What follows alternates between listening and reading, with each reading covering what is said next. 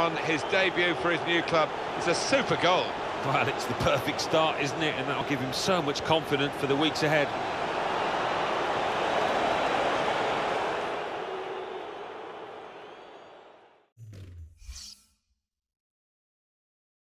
Kane. Good forward play from them. And he knocks in the goal. What a moment for him on his debut for his new club. It's a super goal.